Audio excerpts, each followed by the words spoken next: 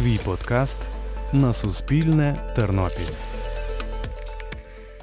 Привіт, мене звати Ірина Терлюк, і ви слухаєте подкаст Суспільне Тернопіль Друге дихання. Сьогодні ми говоримо з художником Рустамом Давлетовим, який, змінивши професію, кардинально змінив своє життя. Рустам 11 років працював банкіром, а потім залишив роботу з паперами і цифрами і зайнявся творчістю. Він почав писати картини і вчити цього інших. Тепер його дім це величезна майстерня художника із десятками картин на стінах. А на майстер-класи Рустама ходять не тільки тернополяни, а й жителі інших міст і навіть жителі інших країн. Сьогодні він розкаже, чому змінив свій фах і як досягнув успіху у новій професії. Привіт, Рустам. Привіт. Отже, е, ти здобув професію банкіра і почав працювати за фахом. Тебе від початку приваблювала ця професія, чи можливо це був не твій вибір, а швидше чиясь порада?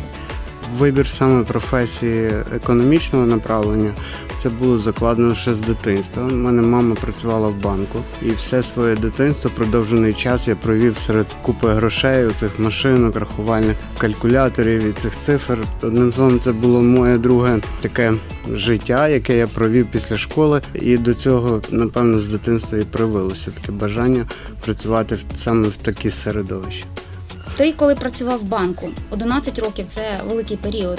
Весь цей час ти був на одній і тій же посаді, чи твоя банківська кар'єра якось рухалася вгору? Я думаю, що в кожної людини є бажання рости в кожній справі. Звісно, на самому старті, як я поступив на роботу в банк, я поступив в відділ картковий звичайним економістом.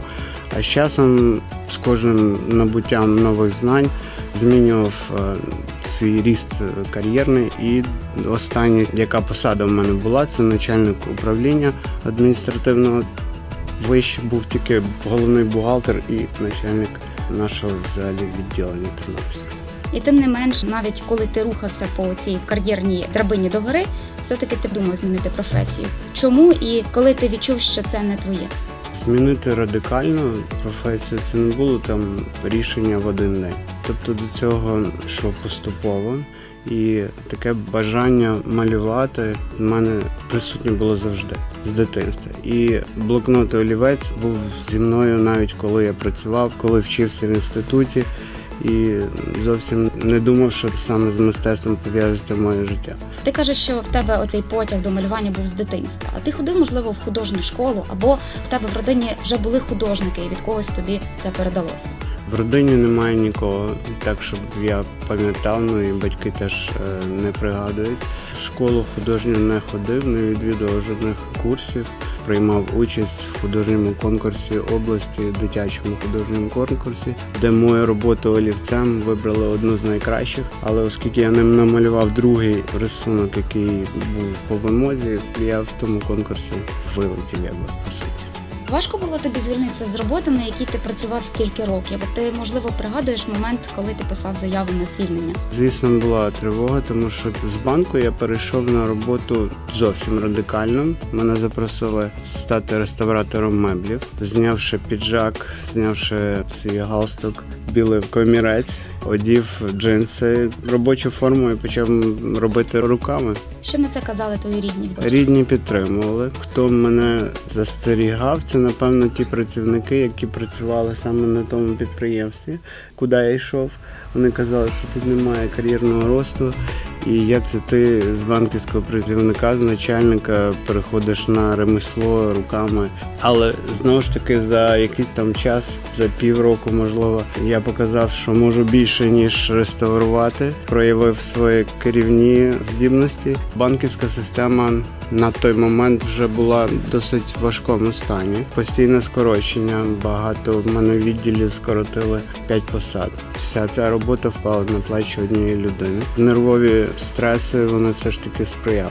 Дана робота, на яку я змінив, вона була більш творча. Тут треба було просто відповідати процесу саме цих реставрацій, нанесення лаку і тому подібне, відновлення там малюнку, того ж самого стільниці або інших там елементів меблів. І тут була творчість, не було тиску психологічного. У мене перестало здьорити око, і я реально став стабільніший, психологічно набагато сильніший. Але фізично ця робота важча чи ні? Я б не сказав, сказав, вона напевно шкідливіша, тому що працюєш з лаками, фарбами, вони всі мають токсичність і тому подібне.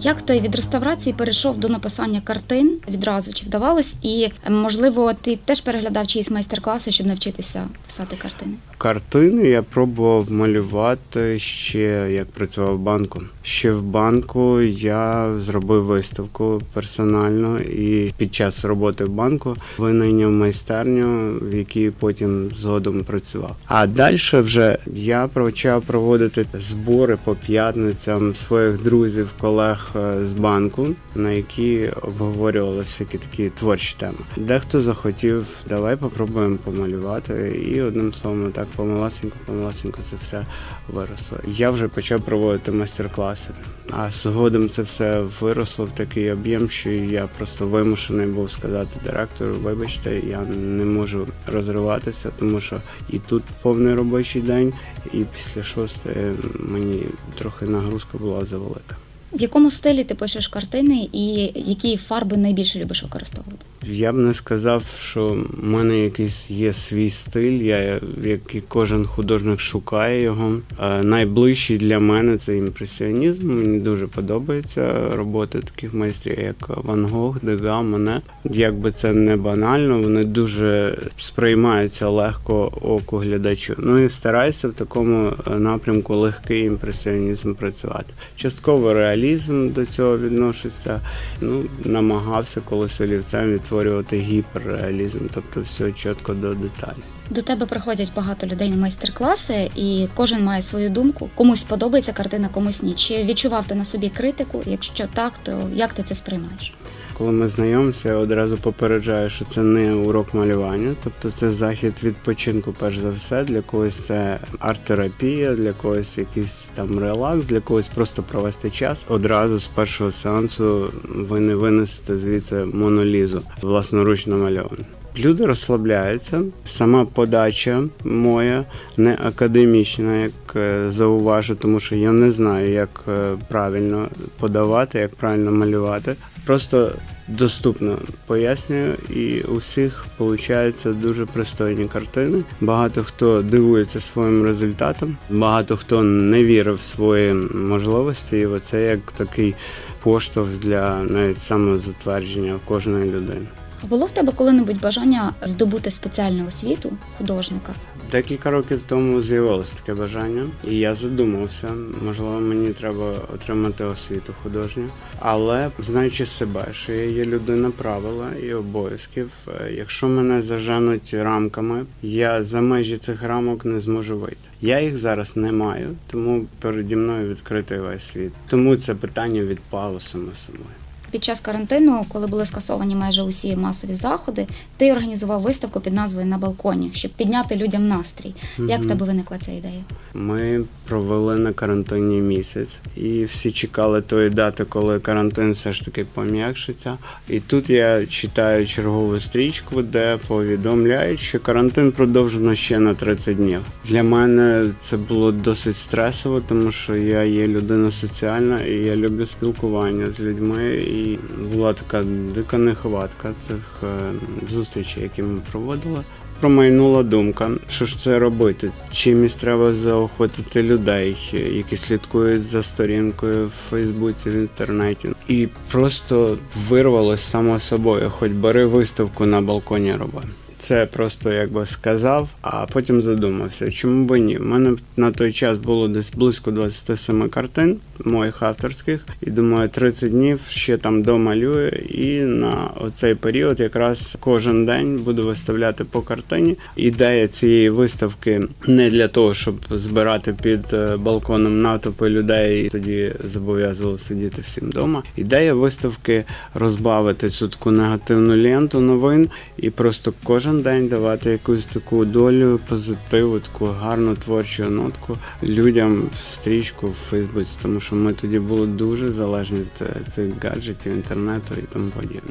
Ти бачив реакцію людей? Було дуже класно, дуже приємно, коли проїжджали все ж таки якісь машини під балконом, одиночні, піднімали голову. А було дуже приємно, коли через тиждень я вже виносив зранку картини, ну поспіль тиждень. Вже навпроти будинку люди стояли на балконі і чекали, коли я винесу ці картини. Можеш писати картини у чиїсь присутності, бо багатьом художникам для цього треба обов'язково бути на самоті.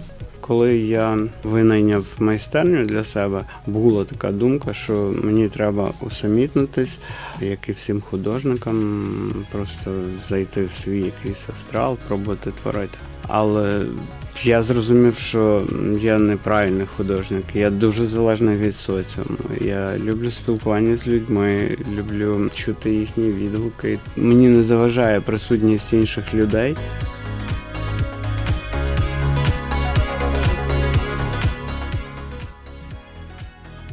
Ти також займаєшся і соціальною роботою. Так, стараємося долучатися до соціальних е, програм. Е, Безпосередньо вже мали неодноразову співпрацю з відділом центру соцзабезу, який набирає якби групу людей похилого віку або самотніх. І ми з ними проводимо такі майстер-класи. Це все на безкоштовній основі. То це вже триває десь близько двох років. Така співпраця. Тоді з Карітасом ми вже проводили декілька заходів з підлітками. Ну і з дітками з особливими потребами. У мене працює Люда Сонікова. Вона займається з такими дітками вже близько трьох років. Тривалий час тобі не подобалось, е, коли тебе називали художником, і ти не хотів, щоб тебе називали художником. Чому? Не то, що не подобалось, я вважав, що я не гідний цього, тому що не той художник, хто взяв пензлик в руки, а той художник, хто напевно цьому віддається життю і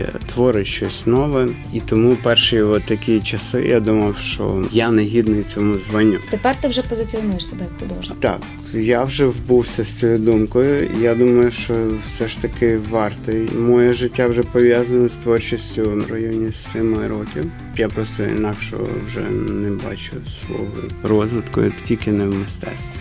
Банківський працівник має чітко визначені межі робочого дня. Це, скажімо, там з 8 чи 9 години і до 18 чи 19. А твоя робота, майстер-класи, вони тривають е, до 4 годин і переважно відбуваються ввечері. Ти взагалі маєш час на сім'ю, на відпочинок, на себе, скажімо ну, так. банківська робота була чітко визначені години, але все рівно там були моменти, що треба було і затримуватись, і теж були всякі нюанси в роботі. Оскільки майстер-клас триває 4 години, це тільки сам майстер-клас. Тобто треба підготувати це все і після того студію поприбирати і закрити. І виходить тих самих 6 годин, це якщо один майстер-клас. І тоді собі розплановуєш день. Записник завжди під рукою, і особисте життя це точно не впливає. Разом зі зміною професії ти частково змінив стиль життя, і майже вся твоя квартира це велика художня майстерня. Якою було твоє житло до того, як ти почав писати картини? Чи відрізнялося воно від того, яким воно є зараз? Чи відчувається, що атмосфера в твоєму домі тепер якась зовсім інша? Це майстерня, в якій я вже облаштовував типу житло. Не житло, в якій я облаштовував майстерню, а навпаки. Це були пусті стіни, і було досить так е, сухо, все пусто. А з часом все обростало своїми цікавими такими речами, то мені приносили, дарували якісь е, гарні картини або інтер'єрні деталі. З часом картини з'являлися на стіні все більше і більше, і зараз близько сотні у мене картин, які тільки висять, прикрашають стіни майстерні. В студії також близько ста картин. Є взагалі у цій роботі якийсь негатив? Люди ж приходять на майстер-класи отримати оцю долю насолоди, відпочинку і аж ніяк не скаржитися. Ну, був один такий випадок, коли учасниця їй не сподобався результат свій, хоча досить непогано намалювала. І вона при знайомстві в процесі постійно язвила. Ну і в кінці вже просто при всіх учасниках вирішила виразити своє фе.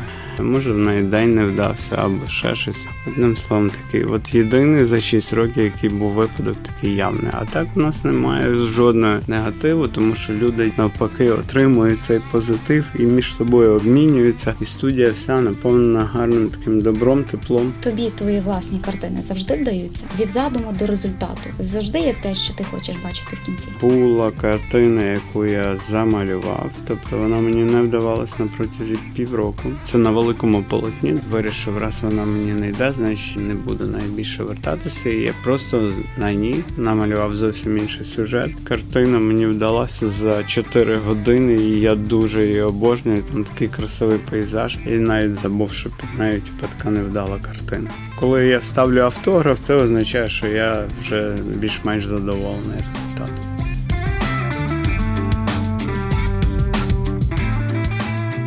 Знаю, що одна з твоїх картин тобі приснилася ще до того, як ти її створив. Розкажи про неї. Це найголовніша моя картина на даний момент. Назвав Віра в себе. Одразу ж коли робив виставку, і так же само називалася і виставка. Дійсно, ця картина мені приснилася, і я тільки-тільки проснувся, навіть не снідав, не чистив зуби. Я одразу взяв полотно фарби швидкоруч. Буквально десь за півтора години я написав цю картину. Зображена мати на фоні пустих ланів сірого гнітючого такого неба. Мати, яка опустила руки, в неї руки в формі крил, е, голубки, виразу обличчя немає, але в цьому пустому зображенні обличчя видно всю тугу і весь сум, який мама в той момент отримує. Вона стоїть на колінах, опустила руки.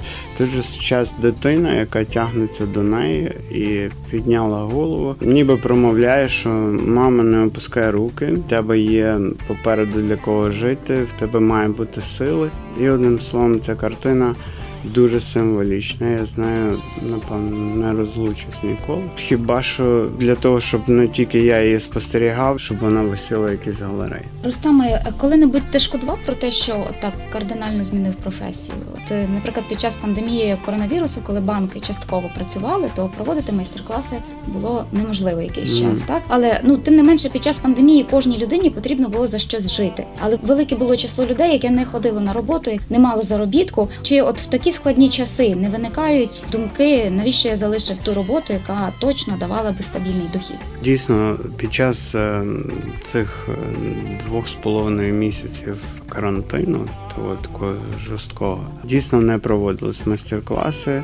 Ну, як і всі люди інші, які лишилися також без роботи, ну навіть і в банківській системі багато хто пішов на вимушені відпустки, які всі люди жили просто за своє заощадження, перестали більше витрачати на якісь непотрібні речі. Одним словом, треба було це пережити цей період. Єдине, що психологічно було дуже важко, але завжди за темними хмарами з'являється сонце. В той час, коли ми почали проводити вже перші майстер-класи, ми робили е, на свіжому повітрі, тому що все ж таки необхідно було дотримуватись дистанції, щоб було все безпечно. Думки такої, що даремно я змінив професію, такого не було.